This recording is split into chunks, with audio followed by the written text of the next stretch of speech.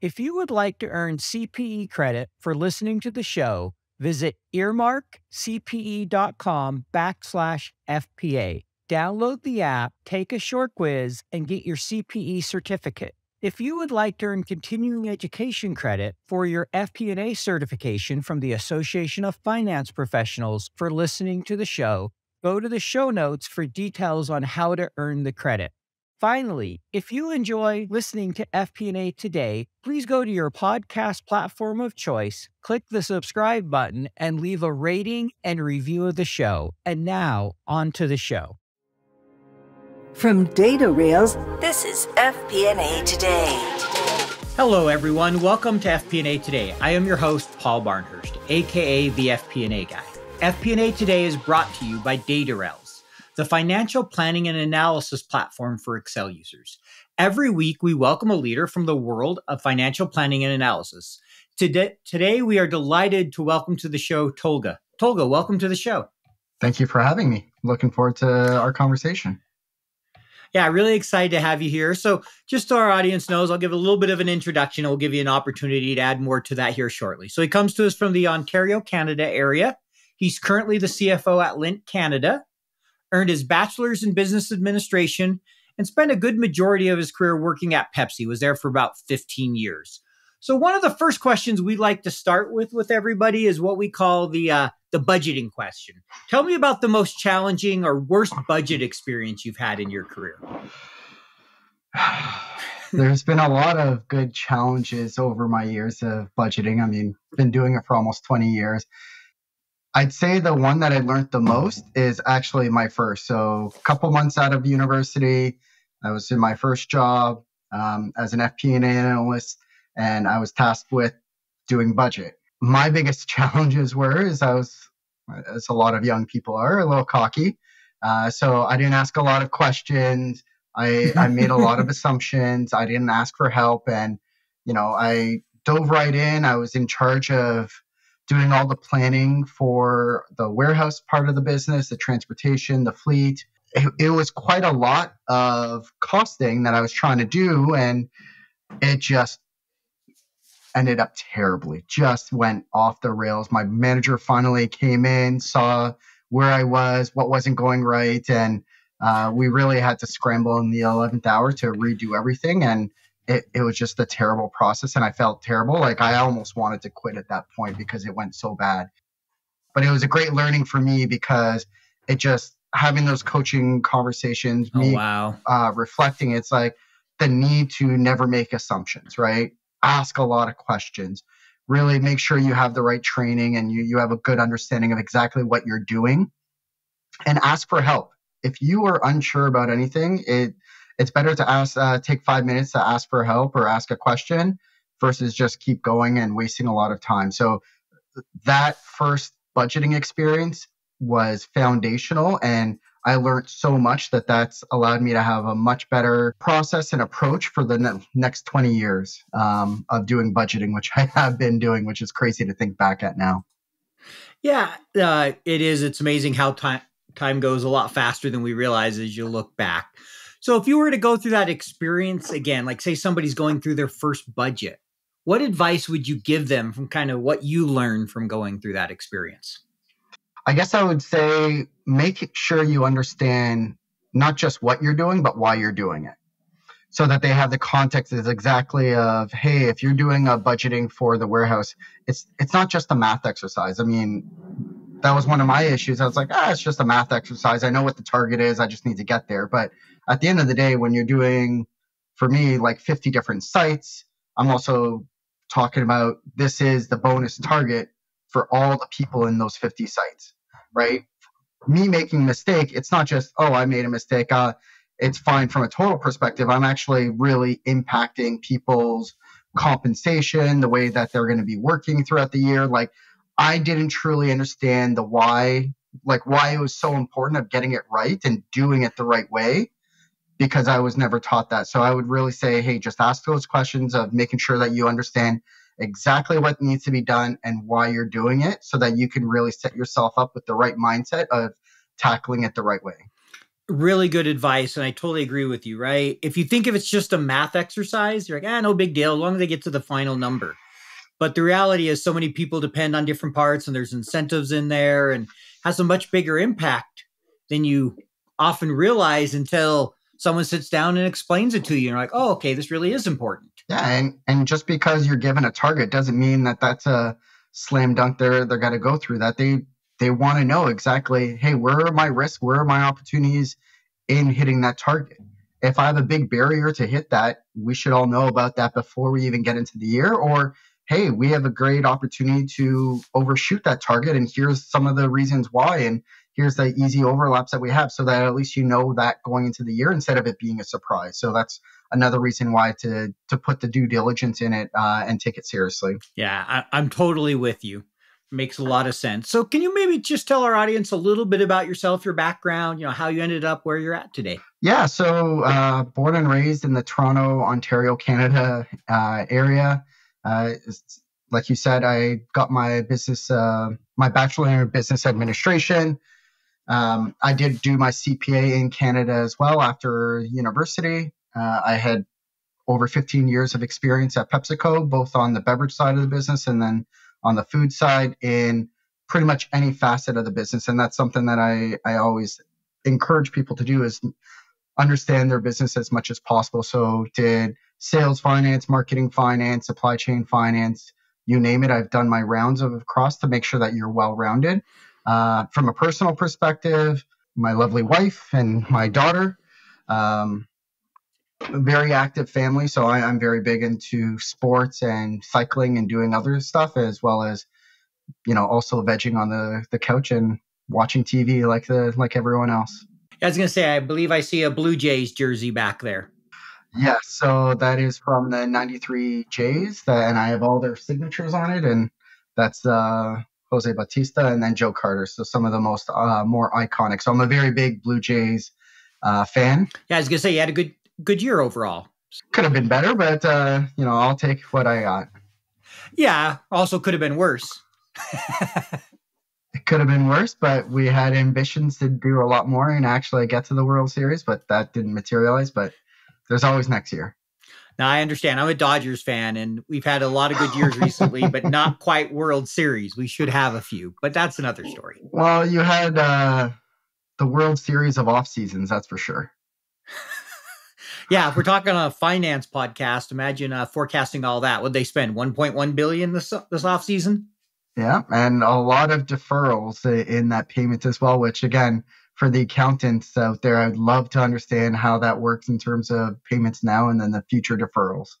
But that's for I, another I, podcast, I'm sure. It, it is, but I'm sure there's a lot of finance people, a lot of people listening that would be fascinating to do FP&A and kind of in, in the sports world and just understand a little bit, particularly a team a franchise, right? And understanding those deferrals and payrolls, like the bonuses in the NFL and how all that, this much counts against the cap. How are you recognizing that against revenue? It would be really interesting to see because I'm sure some of that accounting gets pretty uh pretty technical. Yeah, and, I, I don't even want to start with the uh the football, like the soccer in oh, Europe oh, yeah. and all those clubs with when you know your players are actually your assets and you got to manage that on the books as well and how that actually uh, works as well. I've I've listened to a podcast on that and it was very fascinating. But yeah, it more complicated than I would want to work uh, to deal with.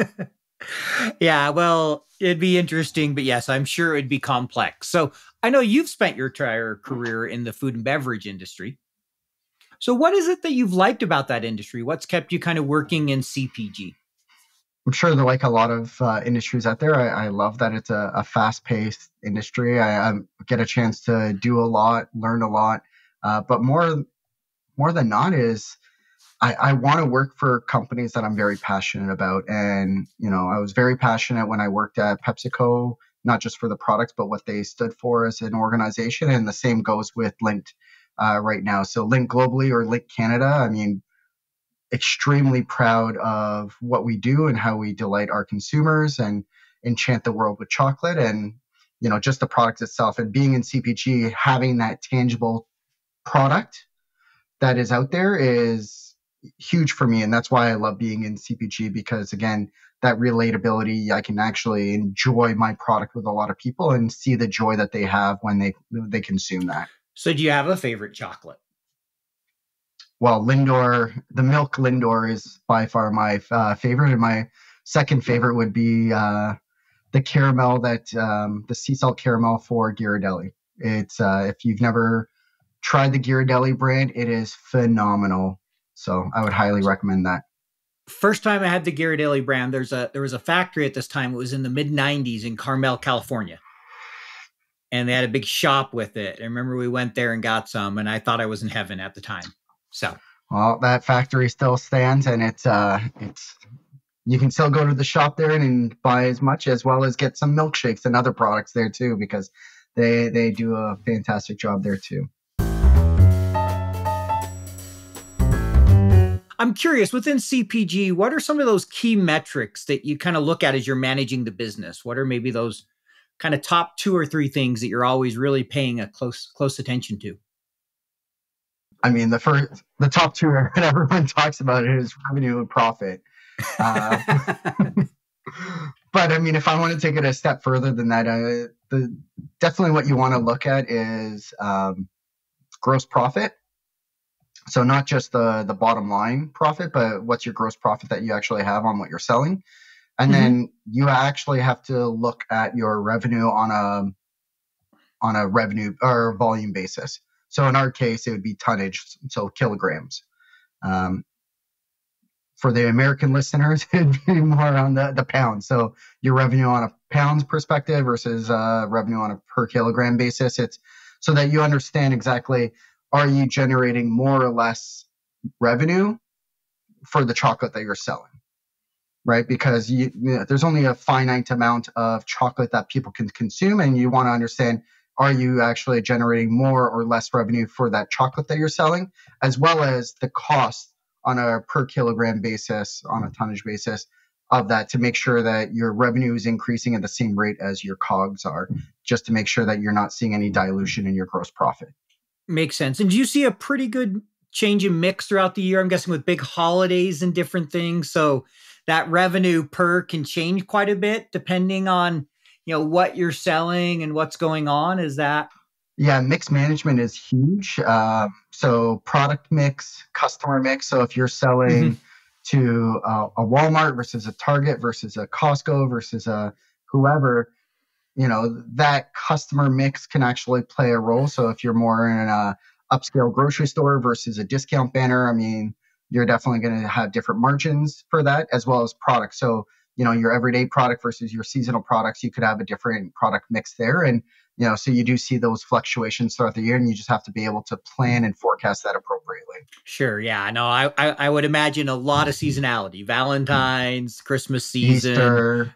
Yeah easter exactly yeah. So I mean, one thing that's in, you know, there's things that you don't even realize. Whereas, you know, last year, very fortunate, we so we have the gold bunny, um, mm-hmm. and last year was the year of the rabbit, so we saw a very big spike because of the lunar um, New Year, and it was a year of the rabbit. So a lot of consumers actually over-indexed and bought that given it was the year of the rabbit. So you do also see still have those micro seasons that you have to anticipate and you know forecast appropriately as well. So you're not off um, off guard in terms of you know a big spike of demand for something that like that as well. Yeah exactly. So you don't go look at the p&l and go okay I, how do i explain this? What happened? Why am i sold out of my easter gold bunnies in january versus you know easter is in march or april right? So again you want to make sure that you anticipate those types of things as much as possible. Yep, totally makes sense. So if someone was, uh, you know, looking to work in the CPG industry, you know, finance, FP&A, and wanted to kind of start learning more about it, any advice you'd offer them? What would you recommend as kind of you know, the key things they need to to think about? Getting into it, or when they have gotten into it. Well, let's say if, let's say they just started to roll in it, but they didn't know anything, so they're just starting out. What kind of advice would you give them? And not just going into any like a CPG role, but going into any role, I would say make sure that you build out your 30, 60, 90 day plan to make sure that you have as good of an onboarding as possible. But during that 30, 60, 90 day plan, I would say really lay out and make sure that you have uh, one-on-ones with everyone cross-functionally as much as possible that you are that you're going to interact with, so that you have a better understanding of what marketing does and what they do on a day-to-day basis. But also ask them how does how does marketing um, coordinator work with finance? Have the same type of sales with uh, conversations with sales and all the different parts of the business. So at least coming into a new industry like CPG, you understand how all the different functions work as well as how they interact with finance. And regardless if your job is interacting with some of those departments, it's still good to have that knowledge because it might help you better in your job and understanding of how the overall company works. So again, you might not do all of that in your first 90 days, but at least carve that time out so that you can you learn that so that you can really understand that because CPG is completely different than tech or some of the other industries and it's just good to really have that understanding of how all the pieces play. Yeah, I, I agree with you. It's amazing how different industry can be from industry to industry. I've learned a little bit about CPG and since I started my own business doing a little bit of consulting for one company and helping them build their plan. But before that, I really had no experience. So it was a sharp learning curve as they're throwing out these things to help build the model. And I'm like, you got to explain it to me. I don't know what you're talking about here. And, and, and that's the thing is it's just asking a ton of questions, uh, regardless if it's your manager or anyone else. Is just be curious. Ted Lasso is one of my favorite uh, one of my favorite shows, and his key quote is "Don't be judgmental, be curious." And you know, just asking a lot of questions and really understanding of who you're dealing with and and what they're doing, and that'll go a long way. Yeah, I 100% agree with you. I think you know, regardless of industry, even role, but especially in any kind of FP&A role, is be curious. Ask mm-hmm. a lot of questions. Right? It's not about the time you spend in your spreadsheet it's about the time you spend getting to know the business so that you can be better when you do need to do the analysis in the spreadsheet or put the numbers together. So you're not just doing a math exercise, as you mentioned earlier. Exactly. And your spreadsheet will be 10 times better because you ask those questions and you have a better um, understanding of the business. Yep, 100 percent agree. So I know you have both responsibility for finance and IT in your role. So I'm curious, what are some of the benefits you've seen by leading IT? You know, benefits you've had kind of from the finance side being a CFO as well. Having firsthand access to the developer. So if I want to change my analytics any way or make any system changes, it, I kind of make the decisions on if we're going to move forward or not versus asking for permission. But uh, no, definitely there's a lot of benefits to it uh, I'm definitely going to see the benefits of it this year. I mean, we did a big, uh, a minor ERP change last year, and we're going to be doing another bigger ERP change next year. But really having finance and IT under the same umbrella and them working very closely together and partnering more than they would if they were separate uh, goes a long way, especially when you're talking about changing systems or you want to change your analytical uh, platforms and so forth, you can really get a lot more done and that there's a, a, better understanding going back and forth between the two departments. You know, as I heard you explain all that, all I kept thinking in my mind is do minor and ERP change go together? Even though I know what you mean by like it's probably a small region or area, but I was like, is there such a thing when you have to deal with changing an ERP? uh, yeah, they're never minor, but when I when I say minor, it's like you're doing one module within SAP versus a major ERP implementation is really doing the guts of an ERP sure. and switching from like an Oracle to an SAP type of thing and doing a big bang versus just I'm going to implement one piece of an SAP module within the existing environment. Yeah, and I figured that's what you meant, but just that was the thought because I, you know, ERPs can be such massive projects, as you well know. And I'm very proud of my team because, again, usually you hear about, you know, you add 50% to the cost and add, you know, double the time, and that's what you know one of those ERP changes are going to be. And you know, my team did a fantastic job with the one that we did last year. It was on time, on budget, and you know, you can't ask for more than that with a big ERP implementation. No, if you can be both on time and on budget, that's a huge win. I'd say if you're within 10%, it's generally viewed as a win, right? Yes, exactly.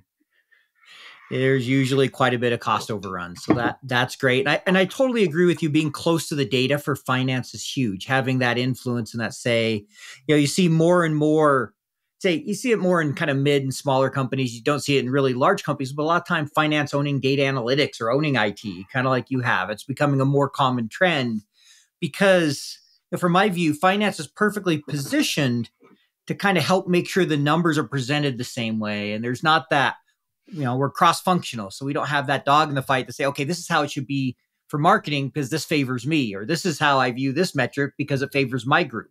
Yeah. It's just here's a standard, here's how we report it. Let's all agree and move forward.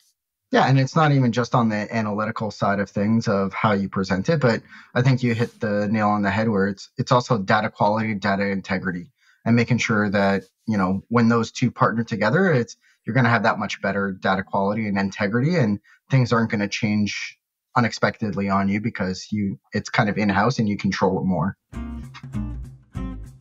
You know what it is like. 13 different spreadsheets emailed out to 23 different budget holders. Multiple iterations, version control, errors, back and forth updates. You never really feel in control of the consolidation and collection process. Yep, I've been there. Stop, breathe. DataRails is the financial planning and analysis platform for Excel users. DataRails takes data from all your company's disparate sources. No organization is too complex, consolidating everything into one place, secured in the cloud. Now all your data finally talking to each other. Everything is automated back into your report in Excel. Cash flow, FX conversion, intercompany transactions, now automated and up to date. Drill down and variance analysis in seconds. Don't replace Excel, embrace Excel. Turn your Excel into a lean, mean FP&A machine. Find out more at www.datarails.com. But I've been fortunate enough to meet many of the members of your team. You know, we've done some training with you over the years, and I've noticed you have a great culture. I know that's something that's very important to you. I've heard you talk about that. How do you ensure your team has a strong culture? What are the things you do? You know, how do you lay that groundwork from your perspective to maintain a strong culture? Really driving that strong culture is up to the people versus myself. I can say and do as much as I want, but they, are the ones that live and breathe it. So it, for me, it's how do I uh, try and set them up for success and empower them to drive the culture that we want to have. So I can talk about what my vision is, but at the end of the day, I got to say here, how do you guys make that vision of having a great culture here and a great place to work? And how do you guys feel like we should be getting and achieving that? And if it's increasing the number of activities or events that we do as a team, great let's find the money and let's make sure that we do that. If it's about how we empower and we partner and we support each other on a day to day basis, okay, great. How do we go do that? And then you guys run the sh- uh, run with it and make sure that that's a, a key thing that we want to live and breathe every single day. And really, it's it's them driving it uh, and me just helping empower whatever they want to do to make sure that we have the right culture in place. And was that something that naturally came to you when you went into leadership, or was it a hard process to let go and just kind of empower and trust people to, hey, you do the work. This is the expectations. I'm here to support and help you. I mean, I've le- read a lot of books and I've did a lot of understanding, but I mean, firsthand is always better than not. and I've had a lot of great leaders in my past. Um, different managers, different presidents, different department C, uh, CFOs, etc. That I've been able to see exactly what I would want to do or not to do. And you know, one of the former presidents of uh, PepsiCo Foods Canada uh, really showed me exactly what I would want to be like as a leader and how to build the right culture. And a lot of what I tried to do at Lindt Canada really comes from his teachings, his learnings, and really trying to implement that here. And uh, his thing was all about asking questions, really being an empathetic leader, and really empowering people to drive what you want to do. Got it. I, I like what you said there. One, you know, the being an empathetic leader.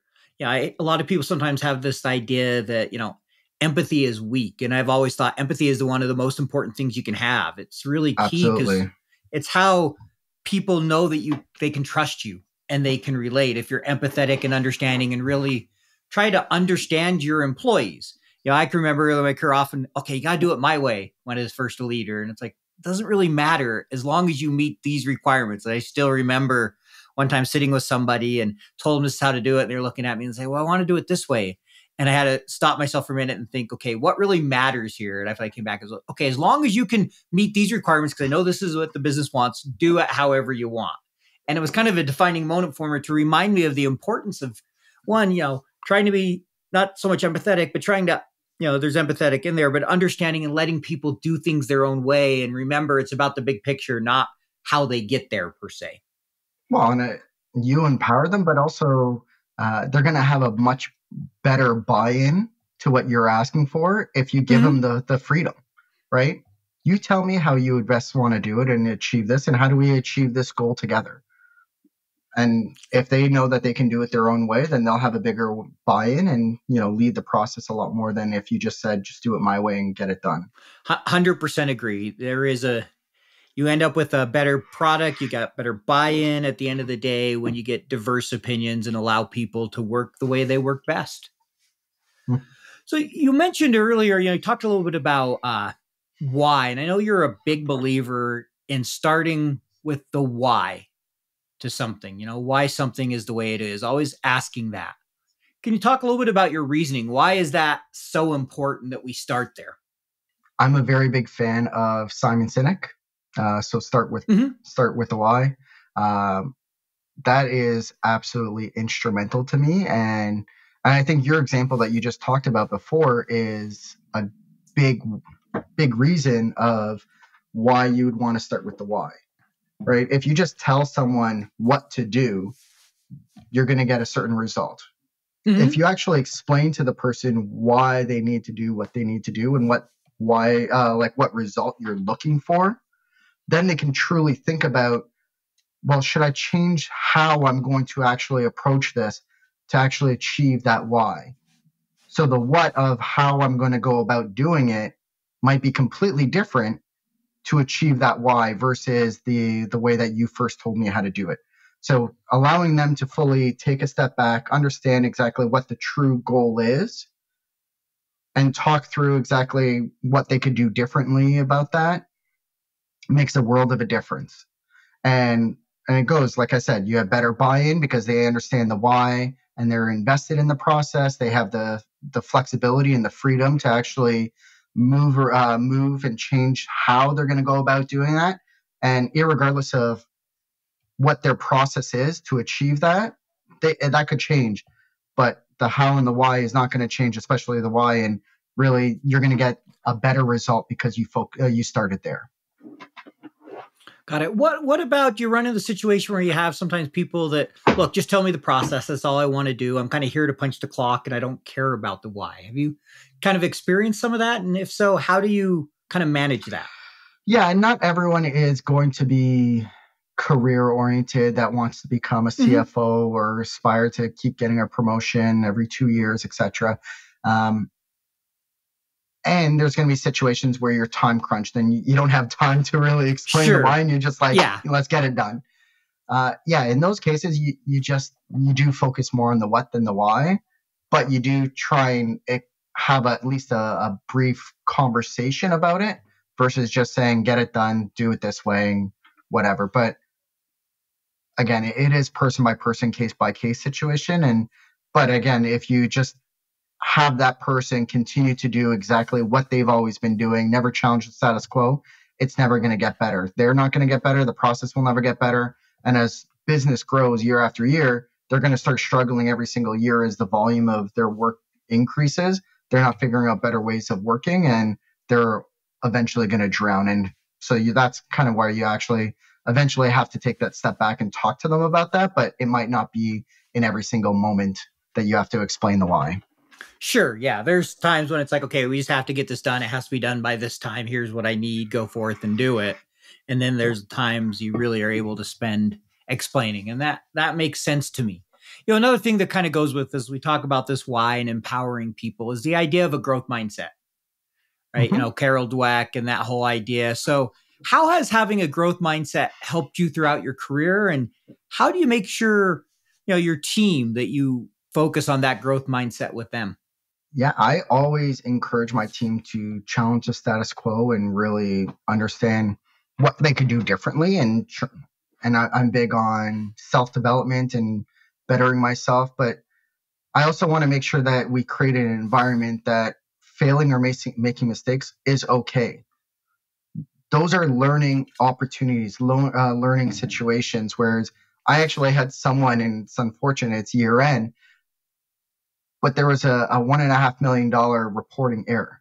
Am I going to yell and scream and be mad at that person? No.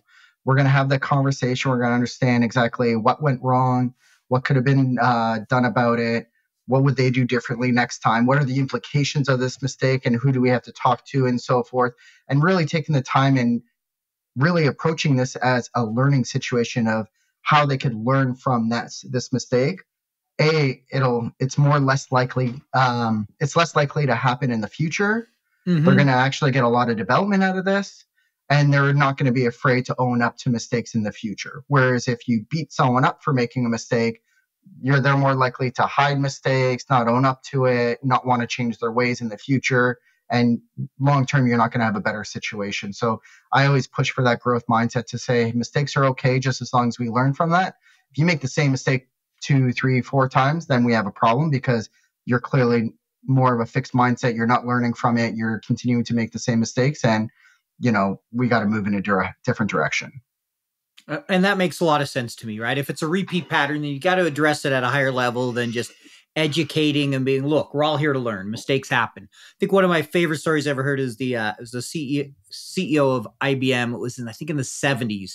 One of the employees made a big mistake and ended up costing the company 30 million. He was one of the executives. You know, he got called in the CEO's boss and he goes, I'll turn in my resignation. And the CEO, CEO looked at him. he's like, why? He's like, well, I'm fired, right? He goes, No, I just spent $30 million to train you. You're not going to make that mistake again. Like, why? That was an expensive learning. I'm not going to start over now. Exactly. And it's it's funny when you started talking, I knew the exact example because that would be my number one example as well as, you know, that, that was just a learning opportunity. And and again, it, it's an expensive mistake, but it's still something we have to learn from. Yeah. And if you have somebody with a growth mindset, you're going to be better off for keeping them like especially if it's a one time it's an honest mistake that they learn from like you said if it's a repeat pattern that's a different story you got to address that differently yeah or if the mistake was purely because of negligence or mm-hmm. whatever then yeah that's also a different story as well 100% agree like the process was very clear they've done it a bunch of times and they just chose not to follow it it's like okay now we got an issue because you cost us a bunch of money because you weren't doing what you were supposed to not because you made an honest mistake exactly so yeah, I know I've had more than my fair share of those, and I think most of us have. So yeah. fortunately, I've had good bosses like you that have generally been really understanding. So I know, you know, you obviously spend a lot of time with other senior leaders, being a CFO and talking to people across the business. What advice can you offer to leaders about developing meaningful, you know, relationships, those co- cross-functional relationships with your business partners? regardless of who you're working with, trust is everything. Um, and the one way that I've learned to really build the trust and to improve the collaboration or the interactions that I've had with anyone cross functionally is learning about that that person's business. When you actually come to the table, you ask great questions, you're vested in their business, you're making an effort to learn about it, they're more willing to talk to you about it, be open, mm-hmm. not be as defensive. Because a lot of the times when finance comes to the table, people have their backs against the wall. They're afraid because, for many reasons, they're just afraid of finance because we're the the money police and we're gonna, you know, take their money away. Be it the marketers afraid of losing their advertising dollars because finance is coming or so forth. But if you're actually at the table, you're asking good questions. It's all about how do we become how am I a better business partner for you? Not a finance partner, but a business partner. I want to have that seat at the table. And when they know that you're invested, you're asking the right questions, you build that trust and you're going to have much better interactions with them. And they know that they'll be able to call you in a pinch because they trust you, right? They're not going to say, shit, I got to call finance because uh, XYZ. It's like, hey, I'd love to get finance's perspective on this because, again, you've built that trust and they, they know mm-hmm. that they can rely on you as a business partner.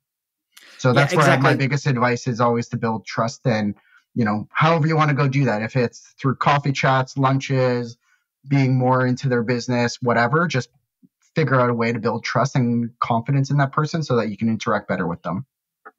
I 100% agree. I couldn't have said it better myself. And that's one of the core things, you know, whenever I teach business partnership is I have the, you know, some concepts around trust and just saying that that's core to it. It's core to any relationship. And it's true with a business partnership. And, you know, you want to get to that point where you want them to want to call you. You want mm-hmm. them to want your advice versus, hey, can we do this without finance, right? Trying to go around and like, okay, we got it in our budget. Even though it's not exactly in our budget, we'll just spend the money and deal with it later. And that just never helps strengthen the relationship. You know, like I knew, you know, one partnership I've had, and I've had some that have not been good, but I knew in one of them was doing really well when the general manager commented that he's like, "You help me shape the P and L. You don't just report it.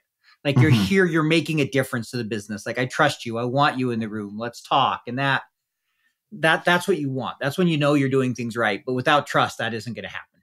Yeah, and when you look at the the triangle, the the hierarchy of the five dysfunctions of um, you know a leader, you know trust or of team, sorry, uh, trust is at the foundation.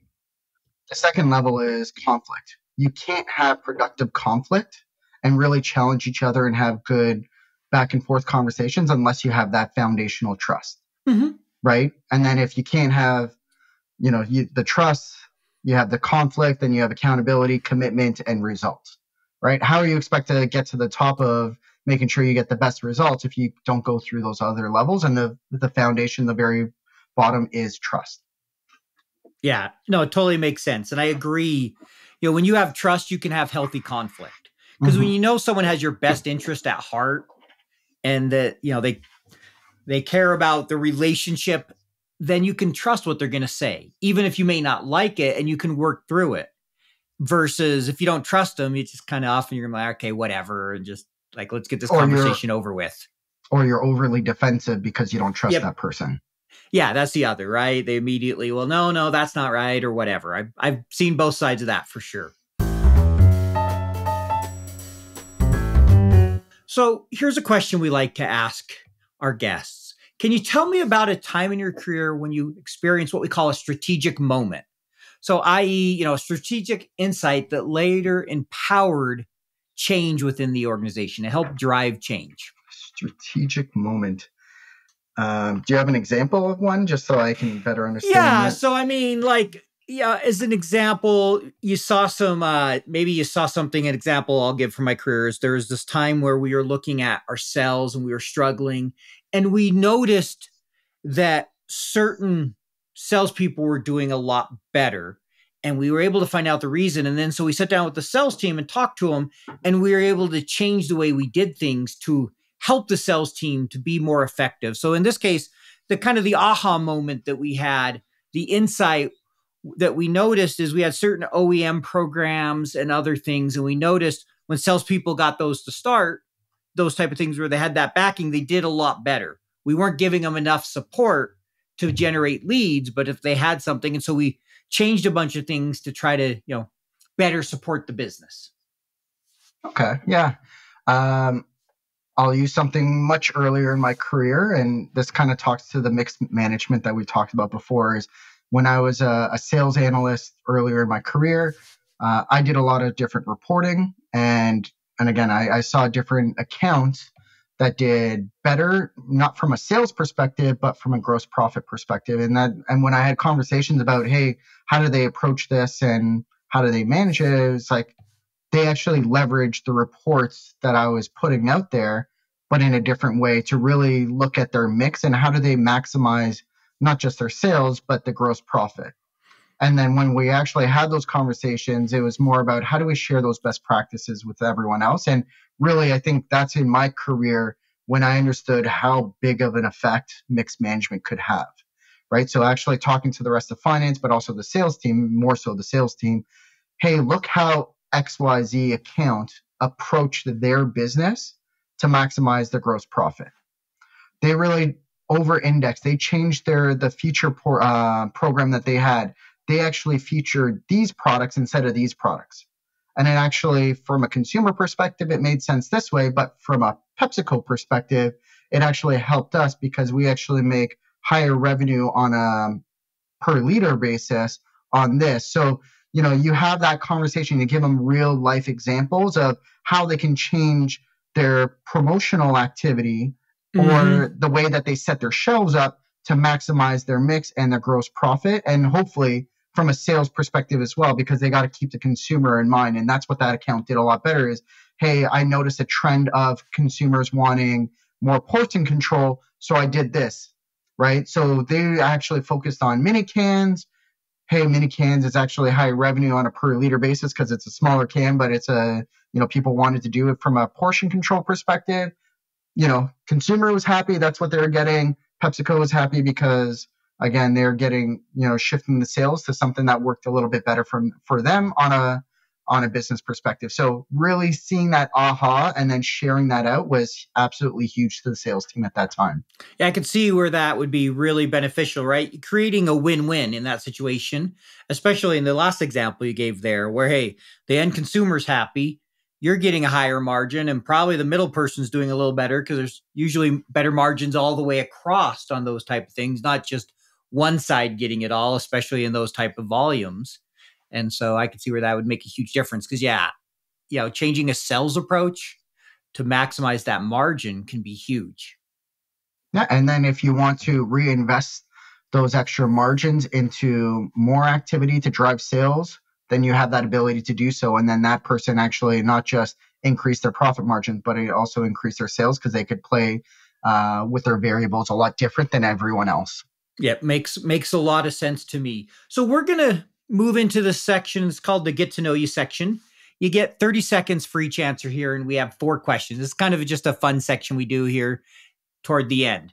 So the first one is what is something interesting about you, something that makes you unique that not many people know?